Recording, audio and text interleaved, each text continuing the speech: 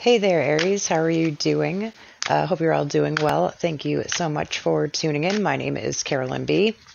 And we're just going to talk really quick a little bit about Aries and what I do.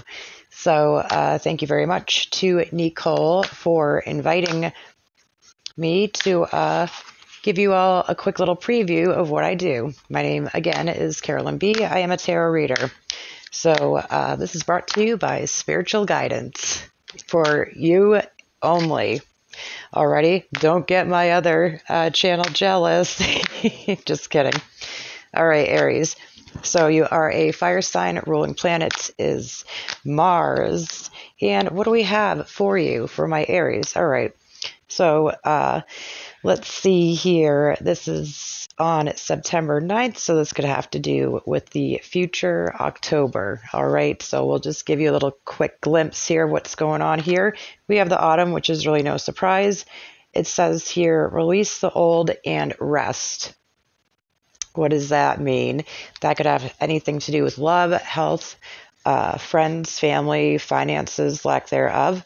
But it seems like something pretty significant is going to be happening in the fall or already has uh, relationship wise, or pretty much this is almost you have the uh, crow right there.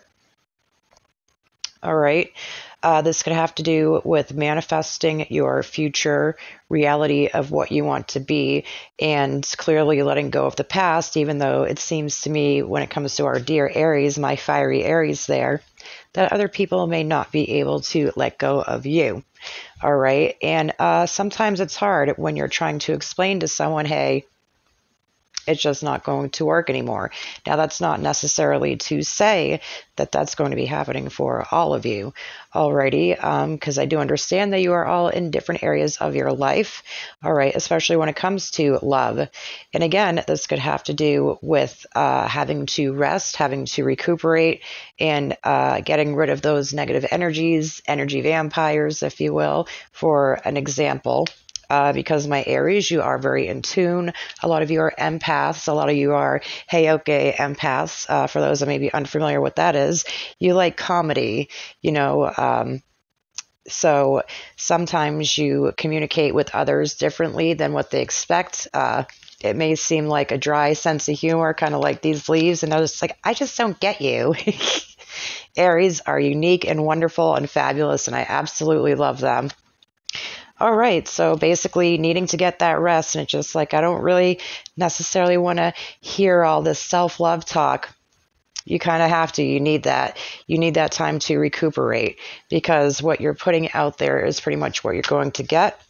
And I understand uh, that can be easier said than done. So let's see what else we have here going on very quickly, just to give you a generalized idea of who I am. And very nice to meet all of you. So let's see here. All right, so okay, we have the Two of Swords here, and uh, pretty much this is making that decision. Also reminds me of like this stalemate thing going on two people being very stubborn. And I find this really intriguing. Uh, we were joking around like the other night. Uh, I was saying Cyclops, you know, that character.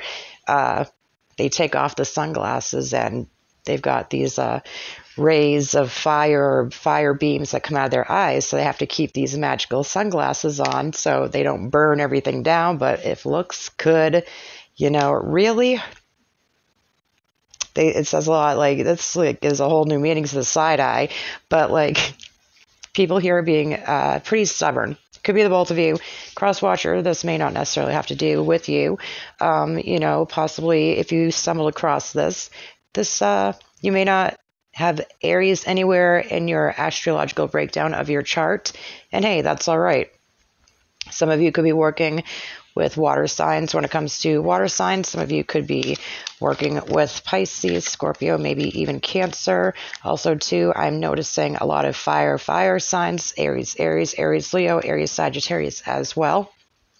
But this is also coming to that decision. This is also cutting ties uh, with certain people, places, things, habits that no longer served you.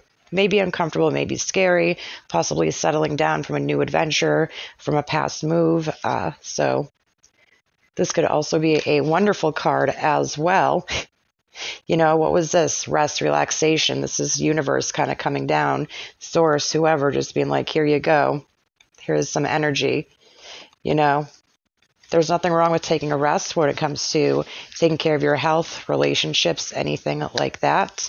And uh, that's just a little bit just to look forward to. Also, too, we noticed the squirrel right there gathering uh, acorns. Pretty much, you know, this is a preparation time for you. And if you have to take that rest, you know, be on the lookout for a lot of activity that's going to be going on, most likely in November for you as well. All right, so thank you all again. It was nice meeting you, and hopefully until next time.